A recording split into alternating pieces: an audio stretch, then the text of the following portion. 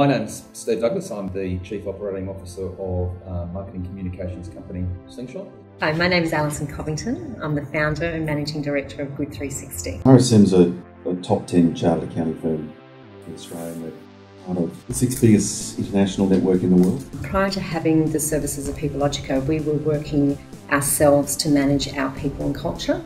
Um, and we've learned a lot through this experience that it's always good to bring the experts in. We found we got to a certain level where we needed some robustness, and we needed some robustness around um, hiring of, of staff, um, the management of staff, and um, we looked high and low for organisations that could bring them to our bring them to us.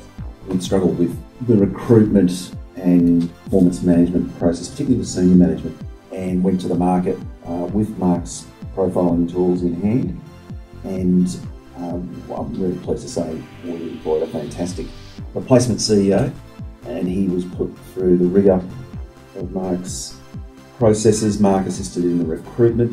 What we have now is a CEO that's fully engaged in, in leadership leading the business and doing an outstanding job. The interview guides have been really um, very beneficial for me to understand that we're putting the people into the roles that they're comfortable with has been a real eye opener. We found the role benchmarking product that they have um, interesting and, and we, we ran with that.